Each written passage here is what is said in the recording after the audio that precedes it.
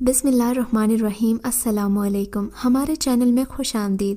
ناظرین، آج آپ کے لیے میں انتہائی خوفناک، سنسنی خیز اور دلچسپ کہانی لے کر آئی ہوں۔ لیکن کہانی شروع کرنے سے پہلے آپ سے گزارش ہے کہ اگر آپ ہمارے چینل پر نئے ہیں تو ہمارے چینل کو ضرور سبسکرائب کیجیے تاکہ آپ کو ہماری ویڈیوز سب سے پہلے ملیں۔ اللہ ایک ہے، وہ واحد اور یکتا ہے۔ اس کا کوئی ثانی نہیں، اس کا کوئی شریک نہیں۔ نہ عبادات میں، نہ صفات میں۔ یہ واحد ایک انسانی مخلوق ہے جس نے زمین پر بہت سی اقسام کی زمینی تقسیم کر رکھی ہیں۔ انسان آج رنگ، نسل، ذات، مذہب، برادری اور قبیلے کی اونچ نیچ میں بری طرح بٹ چکا ہے، جبکہ اس کے برعکس اللہ تعالیٰ کے ہاں ایسی کوئی تقسیم کو معنی نہیں رکھتی۔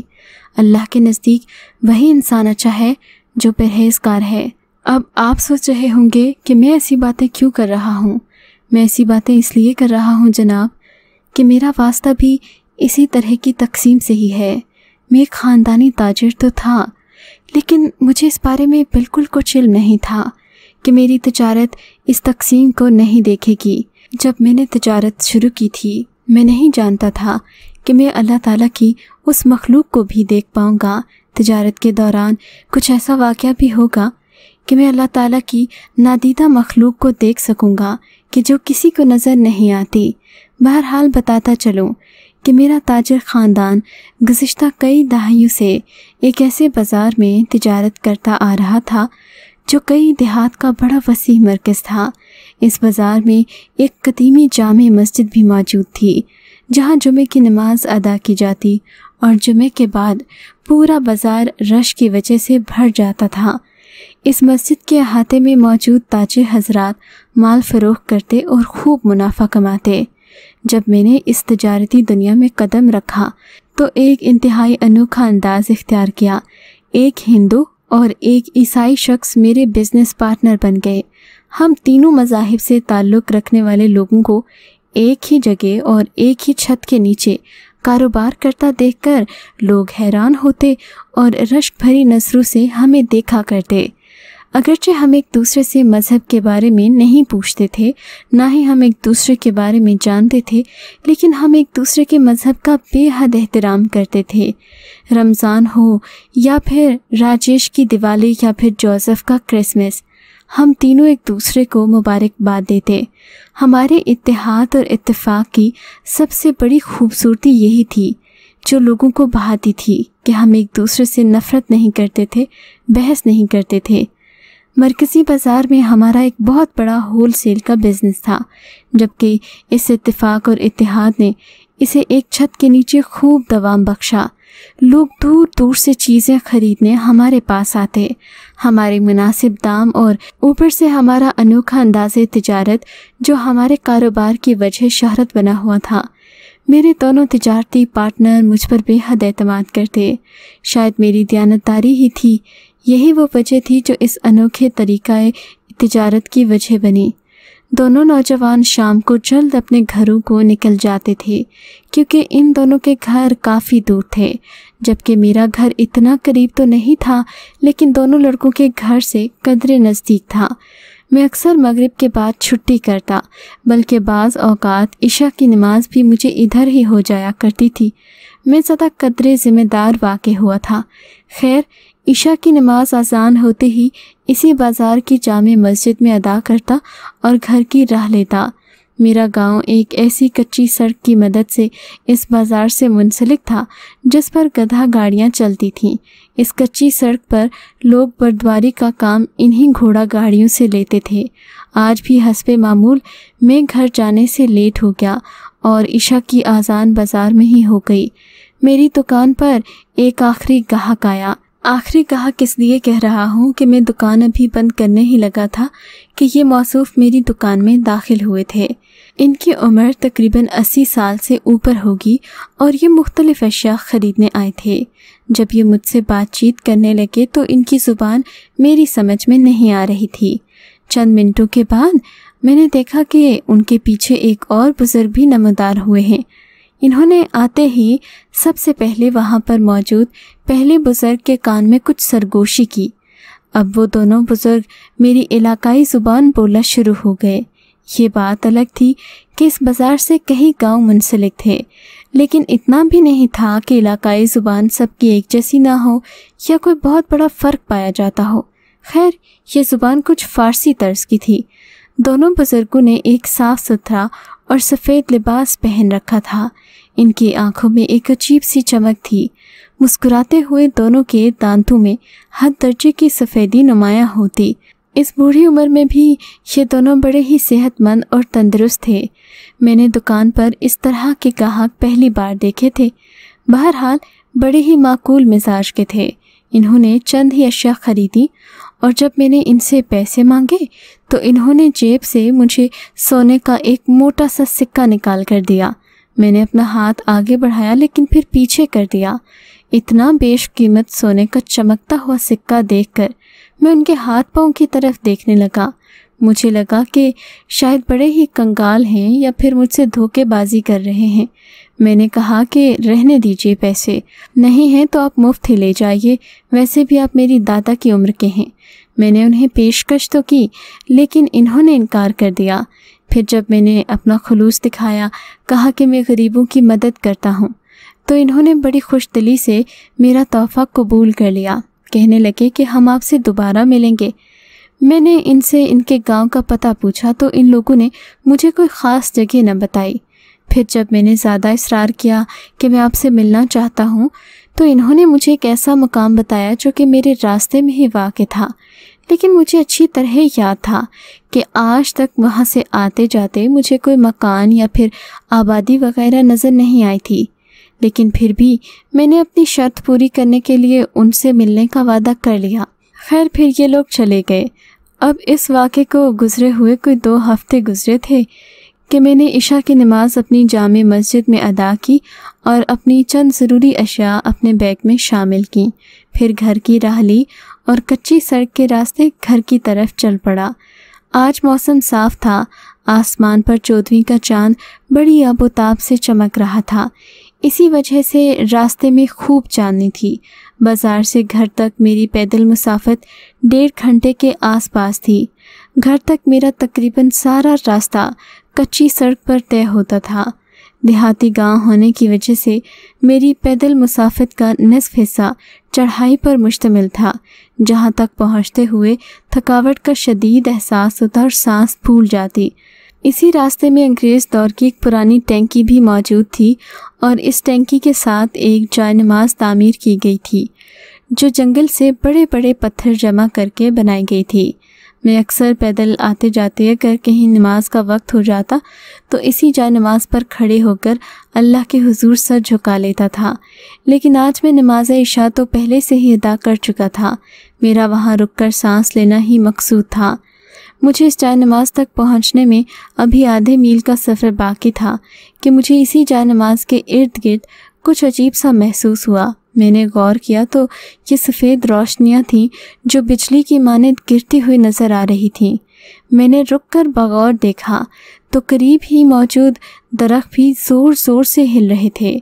مجھے لگا کہ شاید کسی قافلے نے اس جگہ پر ڈیرا ڈال رکھا ہے، کیونکہ بعض اوقات لوگ قافلے کی صورت سفر کرتے ہوئے مل جاتے ہیں۔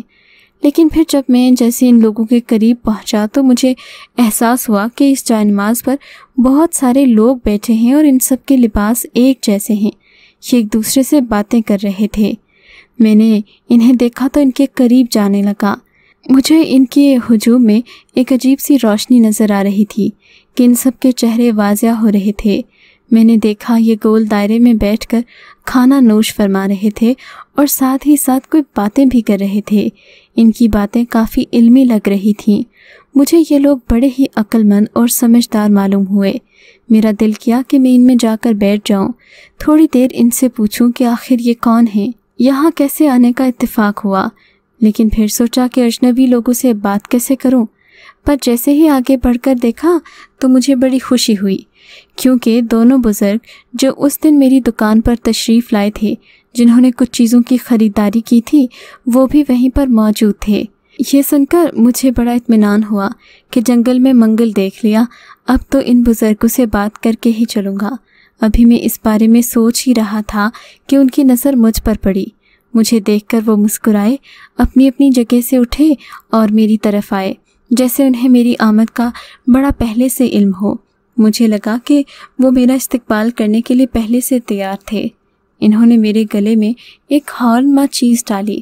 خیر، محفل میں پہنچ کر دونوں بزرگوں نے مجھے بیٹھنے کا اشارہ کیا، جبکہ باقی بیٹھے موجود لوگوں نے میری آمد پر خوشی کا اظہار کیا۔ دونوں بزرگ کہنے لگے، شکیب بیٹا، ہم نے تجھ سے ملنے کا وعدہ کیا تھا۔ آج وہ وعدہ ہم بخوبی نبھا رہے ہیں۔ اس کے ساتھ ہی کہنے لگے، بیٹے، آج صرف تمہارے لیے ہی نہیں، بلکہ اس پورے عالم اسلام کے لیے ایک خوشخبری ہے۔ اور وہ یہ کہ اس محفل میں موجود ہمارے علاوہ سبھی لوگ آج کے دن میں کلمہ پڑھ کر دائرہ اسلام میں داخل ہوئے ہیں، بیٹے۔ اور تم خوش قسمت ہو کہ ان بزرگوں سے مل رہے ہو، جنہوں نے کلمہ پڑھ کر دائرہ اسلام میں داخل ہوئے اور اپنی زندگی کو گناہوں سے پاک کر دیا۔ آج تمہیں ان نیک اور متقی لوگوں سے ملنے کا موقع مل رہا ہے۔ بیٹے، تم بھی اپنے اخلاق اور اچھا مال اختیار کر کے اپنے قریب حلقہ اسلام میں وسعت پیدا کر سکتے ہو۔ ویسے تو تم پہلے ہی اعلیٰ کردار کے مالک ہو، لیکن تمہیں اپنے اندر اب مزید نکھار لانا ہوگا۔ رزق دینے والی بے شک اللہ کی ذات ہے، لیکن ہمیں تمہاری تجارت کا انداز بھی بڑا پسند آیا ہے۔ اللہ تعالیٰ تمہارے کاروبار میں برکت فرمائے۔ یہ باتیں ہو ہی رہی تھیں کہ تھوڑی دیر تک چند نوجوان وہاں آ گئے، جن کے ہاتھوں میں دودھ کے پیالے اور کچھ کھجوریں تھیں، جو انہوں نے میری سمیت سبھی شرکا کو پیش کیا۔ نہ جانے وہ کون سے جانور تھے جن سے یہ دودھ حاصل کیا گیا۔ وہ واللہ کون سے باغ تھے جہاں سے یہ کھجوریں لائی گئی تھیں؟ میں نے تو آج تک اتنا خوش ذائقہ نہ کھانا کھایا اور نہ ہی کوئی مشروب پیا۔ خیر، ان بزرگوں نے میری خاصی آؤ بھگت کی۔ دینی حلقے سے منسوب اس محفل میں شرکت کے بعد میرے بے چین دل کو بڑا سکون ملا۔ ان بزرگوں نے مجھے ایک ایسی دعا بھی سکھائی جس کا مقصد میرے بزنس پارٹنر کے دلوں کو اسلام کی روشنی سے منور کرنا تھا۔ ان بزرگوں نے مجھے وہ وظیفہ لکڑی کے ایک ٹکڑے پر کالی سیاہی کی مدد سے لکھ کر دیا تھا۔ پھر اس کے بعد مجھے پڑھ کر بھی سنایا۔ جب مجھے یاد ہو گیا تو انہوں نے مجھے شاباش دی۔ خیر، پھر تو یہ مجھے حفظ ہو گیا۔ آخر میں جب میں وہاں بیٹھا ہوا تھا تو اللہ کی بارگاہ میں ہاتھ اٹھا کر ان سب لوگوں نے دعا کی۔ کافی دیر کے بعد مجھے لگا میں لیٹ ہو رہا ہوں۔ میں نے ان سے اجازت مانگی تو انہوں نے مجھے تو ان لوگوں نے مجھے الوداع کیا۔ میں نے جاتے جاتے پیچھے مڑ کر دیکھا۔ تو یہ دیکھ کر میری حیرت کی انتہا نہ رہی کہ وہ جائے نماز تو ساری کی ساری خالی تھی۔ مجھے ایسا لگا جیسے میں کوئی خواب دیکھ رہا تھا۔ بلاخر واپس چلتا ہوا جائے نماز کے پاس گیا، لیکن وہ بدستور خالی تھی۔ مجھے بڑی سخت حیرت ہوئی۔ اس وقت میرا وجود تھر تھر خوف سے کانپنے لگا۔ حالانکہ یہ غیر ضرر سی بات تھی، لیکن اس کی پرسراریت نے مجھے حیران کر دیا۔